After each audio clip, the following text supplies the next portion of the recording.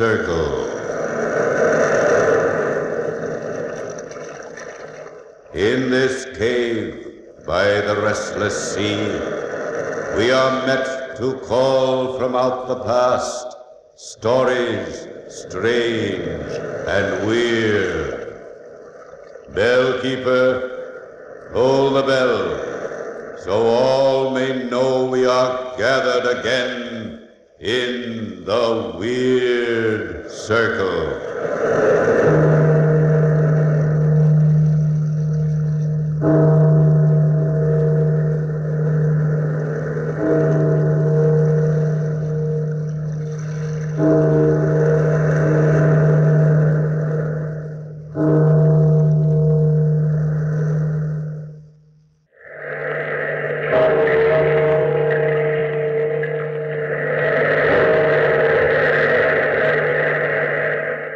Out of the past, phantoms of a world by speak again the immortal tale. Markheim.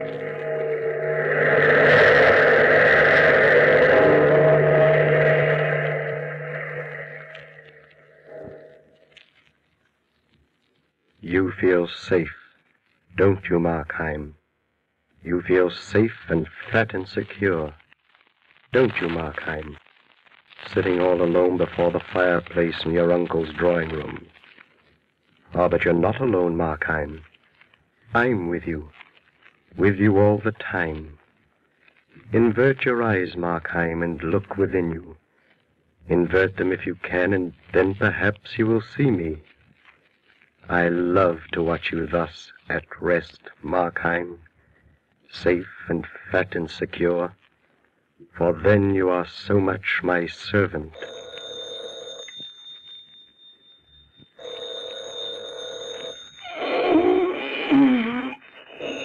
Oh, the phone. Stir, Markheim, stir. Oh, just when I was relaxing so nicely. Answer it, Markheim. Answer it. Mm, oh, that instrument is a menace to the peace. Arise, Markheim, and do answer the phone. Confound it. Get up, Markheim. Get up and answer that phone. Hello? Hello? Is Markheim there? Speaking. Who's this? Rogers. R- Rogers. For heaven's sakes, man. Uh, what's the matter? I told you never to call me here. Suppose my uncle answered the phone. Oh, listen, Markheim. I'm your broker, not your nursemaid. Well, what do you want, man? Quickly.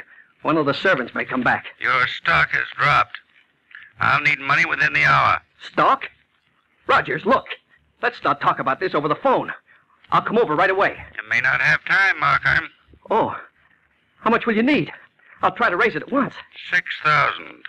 Six thousand. So much? You knew the hazards when you bought on margin. Now, if I don't have the money within the hour, you will have lost everything. Within the hour. Within the hour. Six thousand. Six thousand. All right. All right. I'll try to raise it at once. Six thousand. Within the hour. Where am I going to get it? Come now, Markheim. There is a way, you know. Where am I going to get it? Let me help you, Markheim. Where am I going to get six thousand dollars? Let me suggest something to you, Markheim. Look around the room. Hmm. Nothing in this room is worth six thousand dollars. The wall, Markheim. The wall. A portrait of my uncle. Oh, I couldn't ask him, even if I could reach him within the hour. If he ever knew I was speculating. Not the portrait, Markheim. Behind the portrait. Behind the portrait. Wait a minute now. Hmm. There is a possibility after all. You're in deep already, Markheim. What have you to lose? I'm in deep already. What have I to lose? Stir, Markheim. Stir. Still, maybe it would be better to lose all that stock and forget about it. Move, Markheim. Move. Oh, why do I get into such dilemmas? Get up, Markheim. Get up and move. Oh, what the devil. Now, if I can only lift this picture off the wall. Heavy. Oh, found it. And set it down. There. There it is. Ah. bet the old fella doesn't even guess that I know about this wall safe. Put your fingers up to the dial, Markheim. Or the combination either. Put your fingers up to the dial and twist it, Markheim. Two to the right. All the way around and stop at eight. All the way around to the left. Past eight. And stop at four. Ah, there it is. Now put your hand into the safe. Yes. There's the money. A small fortune, but I'll take just enough. Six thousand in wonderful paper money. Draw out the money, Markheim. I've got it. Quickly now, Markheim. Quickly. Close the door of the safe and put back the picture. That's the way, Markheim. Rush into the street and through the city. Taxi! Taxi! Quickly. Quickly. My taxi, swift and sure. Now into the broker's building, Markheim. Up to his office. Place the money in his hands. Here's the six thousand, Rogers. Oh, quick work, Markheim. Now you may return to your uncle's home, but with leisure, Markheim. You may even walk if you wish. And you may cock your hat at a jaunty angle, for luck was with you this afternoon. And you may smile as you enter the drawing room once again. Oh, hello, nephew. Oh, Uncle, I. Uh, did I surprise you, my boy? Well, yes, uh, you're home early, aren't you? Yes, a little. Christmas Eve, you know. It's hard to get work on the afternoon before Christmas Eve. I thought I'd have my lunch at home and remain. You're right, Uncle. The afternoon before Christmas Eve is no time for business. Hmm, I'm glad we're of the same mind. Sit down. Sit down. Yes, Uncle. Uh, this room is so comfortable. oh, I hardly have time enough to enjoy it, though. That's true, Uncle. It's a room to relax in. I love to come here and just sit. That's because the appointments are so carefully chosen. The furniture and the rugs and the hanging, they all complement each other. Even that silly old portrait of me. Portrait? Yeah. Oh, oh yes, that portrait of you. Uh, it's not so silly, Uncle. An excellent likeness of you. Thank you for the compliment, nephew. But I dare say you're lying. Look at it. I see nothing wrong with it. Well, it's crooked. It's slightly off center. Why, yes, it is. I'll fix it. Just a little push it. There it is. Is that all right? Yes, that's fine. Fine, thank you. you know, that crooked portrait reminded me of something. Huh? Uh, do you care to tell me? Oh, it's nothing important. It just reminded me to take the picture down one of these days. Take it down? Why? Well, no, nothing special, just to dust it off a little, shall we say? Perhaps I can help you. Uh, when are you going to take it down? Uh, see, not today. Uh, and tomorrow is Christmas. The next day, probably, and I won't need any help, my boy. No help at all. As you wish, sir. Uh, and uh, now I think I shall be going upstairs. I have a few gifts I still want to wrap. Uh, see you later, then. Yeah. Oh, now wait a moment. What was it I wanted to ask you about? Ask me?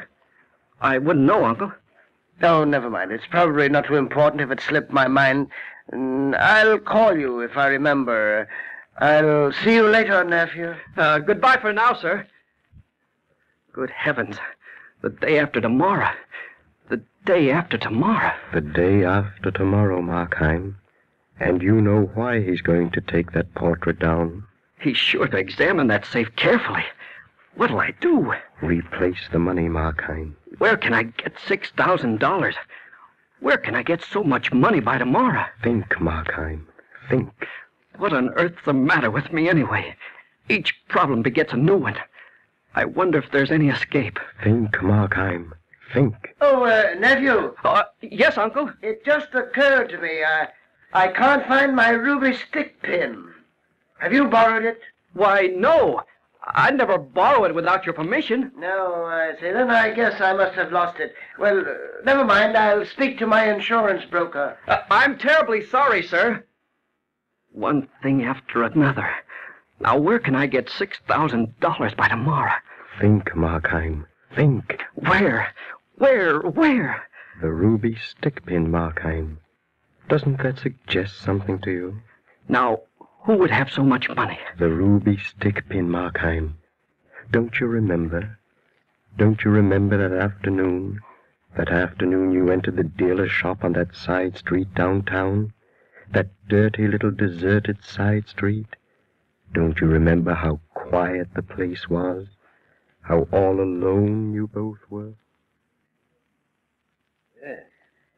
So you're back, young man. I'm sure I'm welcome. You've made a tidy penny on me. Yes. And you should expect I would profit well. I think you profit much too well. Eh, some of my customers are ignorant, and then I touch a dividend on my superior knowledge. And some of them are... Some of them, yes. Well, some of them are dishonest. In that case, I profit by my virtue. Frankly, I need no preamble to our dealings. Let's get on. Yes, indeed. Let us get on.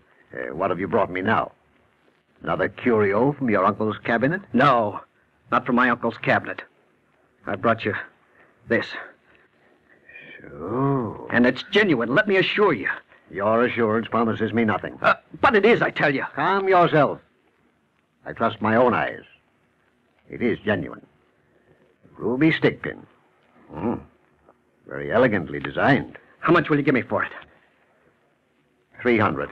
Why, you fool, that's worth at least a thousand. Does it matter whether I give you three hundred or three thousand? You'll lose it anyway. I'd rather enrich myself than some stock speculator. I'll not give it to you for three hundred. It's you who needs the money, not I. But three hundred? I'll be generous. Four hundred, shall we say? Very well. Since I have no choice, I'll take the four hundred. Good. Now you wait here. I'll go upstairs and fetch the money.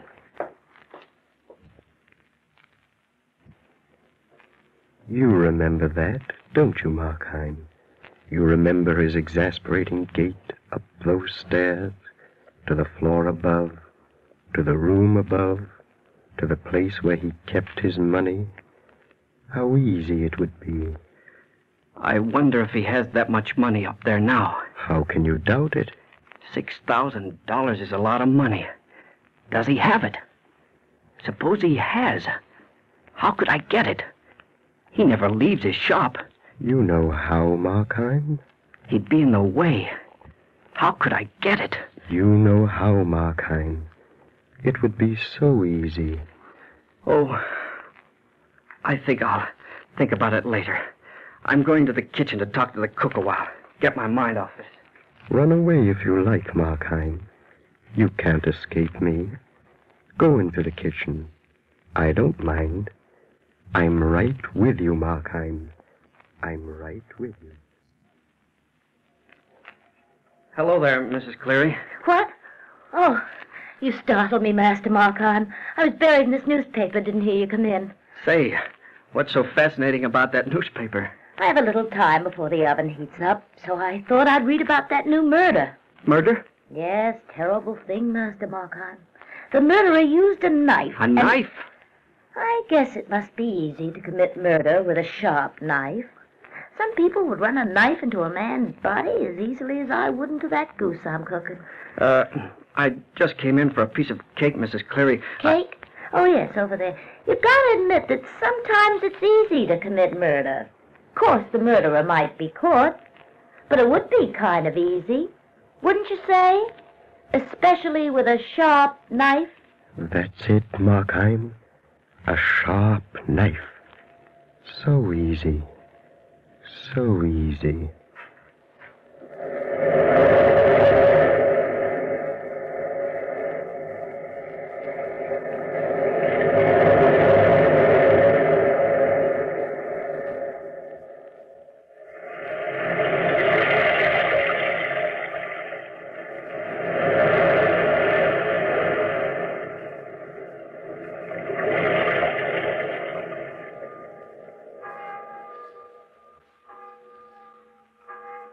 The plan is formulating in your mind, isn't it, Markheim? It should be easy. Six thousand dollars at the stroke of a knife. But you won't carry it out, Markheim, while you sit in your uncle's drawing room. If I only keep my nerve, if I don't break at the last moment. You won't break, Markheim. I'll be with you. Oh, uh, Merry Christmas, Uncle. No. What's the matter, sir? Oh, yes, yes, yes. I said, uh, Merry Christmas. It could be merrier, nephew. I wish you wouldn't spend your leisure time in my drawing room. What? I, I won't if you don't want me to. In fact, I forbid you to use this drawing room as your den. I forbid you to lounge here alone. I'm sorry, Uncle. What have I done? I don't care to discuss it now, nephew. It's Christmas Day. But I would like an hour with you tomorrow. Of course, of course, as much time as you And wish. No, no, now, I'd like you to leave me. I have some thinking to do. I must have done something terrible. All right. I'll leave. I'll go at once.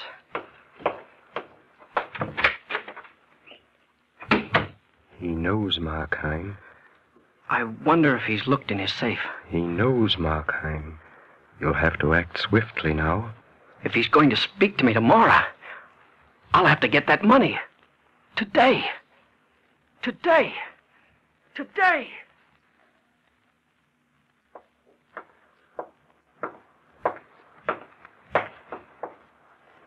Here it is, Markheim. The dealer's house. Ring the bell. Don't hesitate, Markheim. Ring it. I can't. I can't kill him. Your uncle knows, Markheim. Ring the bell.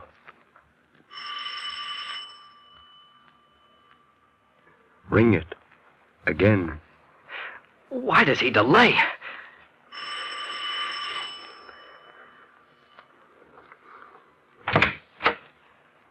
Well, what is it you want? Must you keep me out here in the cold? I was talking on the telephone. Now, what do you want? I'm not buying anything today. I haven't come to sell. Have you come to wish me a Merry Christmas? No. I've come to buy. A Christmas present for a lady. Why don't you go elsewhere? All the other shops are closed. It was a sudden invitation to dinner, and I mustn't go empty handed. You'll be doing me a great favor, and I- I'm willing to pay double. Huh? Oh, well, come in, come in. You're an old customer after all, and I take it you're fond of the lady. Yes, very. Well, far be it from me to stand in the way of a courtship, Thank you, sir. I appreciate it. especially when you're willing to pay double. Uh, let me see, what have I got there? Uh, How do you like this mirror? 14th century, warranted. Comes from a good collection, too. Mirror? Get it away from my face. Why not a mirror? Get it away from my face, I tell you. No, not a mirror. Huh. Perhaps you see in it a reminder of past sins and follies. I don't like mirrors. They say a mirror often yields a reflection of one's inner self. Enough! Enough! Take it away, I tell you. Very well, calm yourself. Perhaps this may suit you. This silver compact here on the shelf. I'll get it for you. Now, Markheim. Now. While his back is turned. The knife, Markheim. Swing it with your whole arm. Swiftly, swiftly. With your whole arm, Markheim. There! I've. I've killed him. It is done, Markheim. It is well done. I've. I've killed him. I must get out of here. Fool, where are you running? I can't remain. They'll find me here. I'll hang. The front door. I must get out. Stop. Do you want to destroy yourself? You cannot go out that door. Listen to what is happening on the other side of it. Listen. Well, here's the place, Garrity. All right, you go on in. I'll wait outside. Now, don't be a grouch. This is Christmas Day, and we're both going to present this turkey to the old man. He's the worst miser that ever lived. What does he know about Christmas? That doesn't matter. You agreed to walk down here with me, and now don't go away. I'm going to knock on the door. Eh, there, you see, there's no answer. Maybe he's not home. He never leaves. I'll try again. Hello, hello in there. Are you coming out? You're making enough noise to raise the dead. Maybe he's asleep. Oh, come on, let's go. No, no, I think I'll wait a while. I, I expect he'll get up soon and walk over and open the door. You can go if you like. Ah, well, I guess I'll wait along with you. Did you hear that, Markheim? He's going to wait for the old man to get up and open the door. Such a joke. I, I must get out of here. You know he can't get up, don't you, Markheim? The back door. The yard. I must get out of here. I've, I've killed him. They'll find me and I'll hang. Stop running away, you fool. Are you going to forget your uncle and the safe behind his portrait? The back door. To the yard. Stop where you are. Don't you hear those voices in the alleyway? Listen. They're saying something that concerns Let me see you. what you got for Christmas. Oh, I got lots of things. Any marbles? Sure, Billy, a whole bag full. I got 'em in my pocket. So did I. Want to play me? Well, sure, play you right now. Where do we play? Well, I don't want to play in the gutter. How about the backyard? His backyard? Why not? Don't be scared of that old foggy. We'll keep on playing until the old man gets up and opens the door and hollers at us. Okay, I'm game. Did you hear that, Markheim? Till the old man opens the door and hollers at them. I'm, I'm trapped in this house. You know he can't get up, don't you, Markheim? I'm trapped in this house. Stop lashing yourself, Markheim. You have done well this afternoon, and a great deal more lies ahead. Now come along. Up the stairs. Higher. And higher. And higher still. Up the stairs to the landing. And through the door, Markheim. Through the door. And into this room. Here's where the old dealer keeps his money. Now look carefully. Remember, six thousand to replace in your uncle's safe. I must get that money. I must. Of course you must.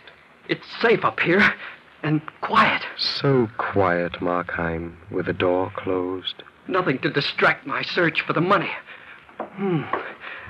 This desk. Not there. Perhaps, perhaps behind this mirror. This full length mirror, Markheim. It might. It might be behind that mirror. But. But I daren't look at it, except with the corner of my eye. Why fear the mirror, Markheim? The money is right behind it. Now look at it. I'll look behind the mirror as a last resort. Look at it now, Markheim, with your full face. No. No. Look into the mirror, Markheim. Squarely into the mirror. I. I should see my reflection. But. But I don't. Of course not, Markheim. You see me instead. Who are you? I am your evil genius, Markheim. You. You are the voice within my brain. You are the voice that has helped me to steal and helped me to murder. What, what do you want of me? I have spent too long cultivating you as my tool, Markheim, to give you up easily. Once you trembled at the thought of theft, but I rid you of that fear. And this afternoon you reached the crisis.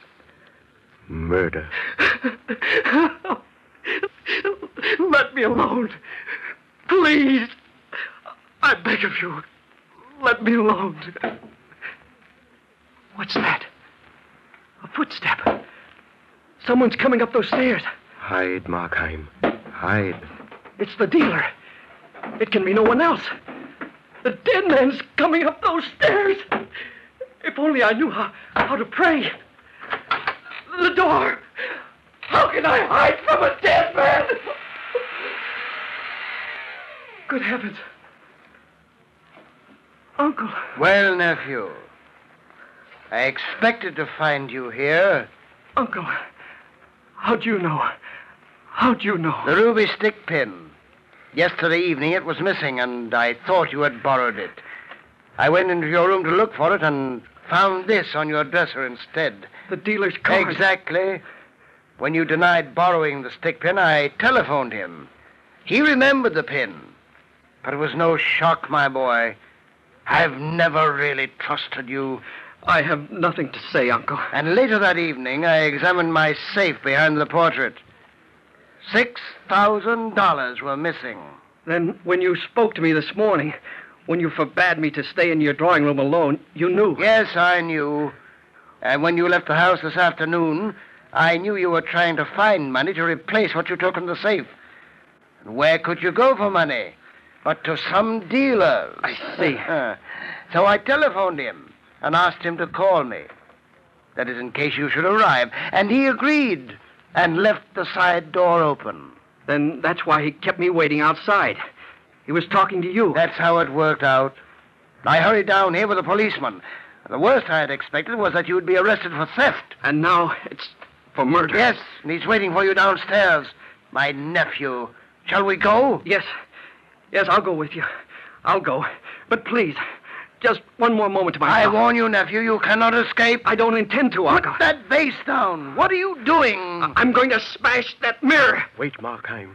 Do not destroy me. I can help you get away. Your power is gone. You can't stop me from doing this. Ah. Now, now I don't care about the scaffold, nor what lies beyond it. I've broken the mirror, and in the time that remains, I shall have peace.